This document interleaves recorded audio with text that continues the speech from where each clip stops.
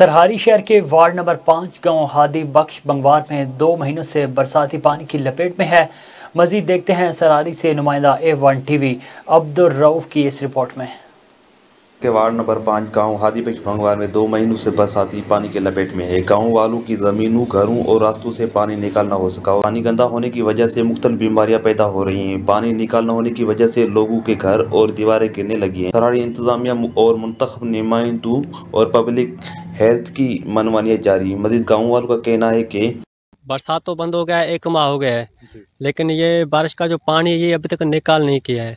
हमारा मुतालबा ये है कि ये पानी निकाल करके और हमको रास्ता दिया जाए और हम शहर में आने जाने के लिए तमाम तकलीफ़ सूरत हाल में है।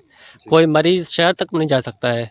हमारे को बड़ा मेहरबानी पानी निकाल के दे। हम वार्ड नंबर पाँच सराडी शहर के हैं। और हमारा जो ये वार्ड नंबर है पाँच सबसे ज़्यादा डूबा हुआ है। गाँव मुतासर लगा पड़ा है बरसात में। एक माह बरसात को हुआ है लेकिन अभी तक पानी मौजूद है घरों में मौजूद है। नहीं कोई ऐसा नुमाइंदा हमारे गाँव तक पहुँचा है नहीं आया है अभी तक।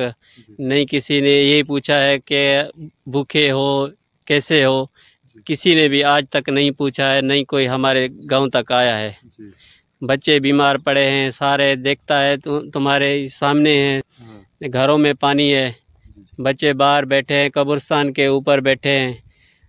दूसरा कोई जगह ही नहीं है जो उधर हम उनको ठहरा सकें। कैमरा टीम के साथ अब्दुलरफ की रियो एवन टीवी सरहरी।